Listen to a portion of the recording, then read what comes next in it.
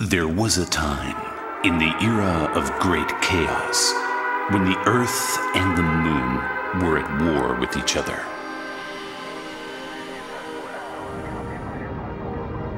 A daredevil from the moon piloted a bizarre aircraft. It was feared, and because of its shape, called Einhänder.